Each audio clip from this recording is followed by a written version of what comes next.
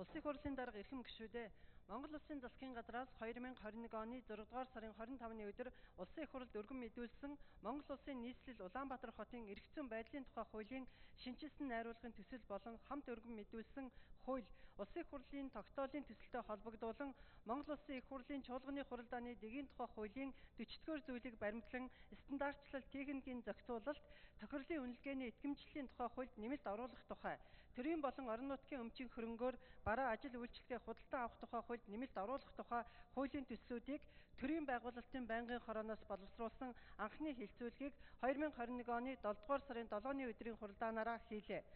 Улсын их хурл 2021 оны 7 дугаар сарын 6-ны өдрийн чуулганы нэгдсэн хуралдаанаар Монгол Улсын нийслэл Улаанбаатар хотын зүйн байдлын тухай хуулийн шинжилсэн найруулгын төсөл болон хамт өргөн мэдүүлсэн хууль Улсын их хурлын тогтоолын төслийн анхны хилцүүлгийг явуулах үед ажлын хэсгээс боловсруулсан зарчмын зөрүүтэй саналын томьёоллууд дэмжигдсэнтэй холбогдуулан стандартчлал техникийн зохицуулалт тохирлын үнэлгээний итгэмжлэлийн тухай хуульд нэмэлт оруулах тухай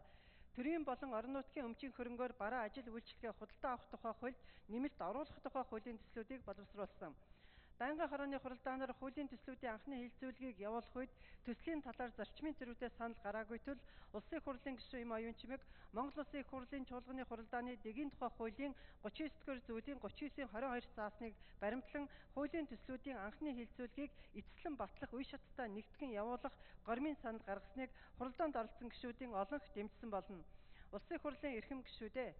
Монгол Улсын нийслэл Улаанбаатар хотын зүйн байдлын тухай хуулийн шинжилсэн найруулгын төсөл болон хамт өргөн мэдүүлсэн хууль Улсын их хурлын тогтоолын төсөлтөд холбогдуулан стандартчлал техникийн зохицуулалт тохирлын үнэлгээний итгэмжлэлийн тухай хуульд нэмэлт оруулах тухай төрийн болон орон нутгийн өмчийн хөрөнгөөр бараа ажил үйлчилгээ худалдаа авах тухай